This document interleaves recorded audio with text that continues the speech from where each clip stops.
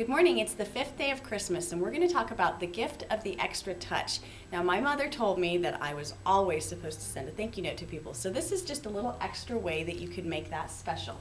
We have these green leaf sachets. They're the perfect size for using in a thank you note. It's just a little extra way to say thank you to someone.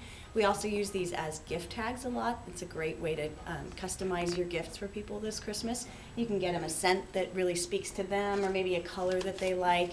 And these have literally, they have 101 uses on their website for things you can do with the sachets. Some of our favorites, you can put them in the dog bed uh, to make your pet odor maybe a little fresher.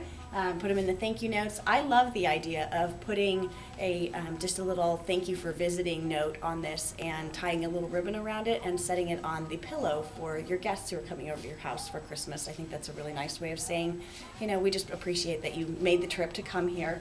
Um, we have little sachets that you could put in your hostess gifts. You could tuck them in your boots in your closet to keep your closet smelling nice and nice and fresh.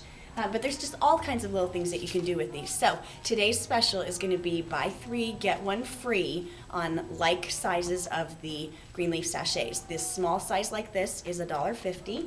The slim size like this is $2 and then the larger sachets are $2.50. So they're going to be buy three, get one free today on the fifth day of Christmas. So come see us in the store and we'll see you again tomorrow.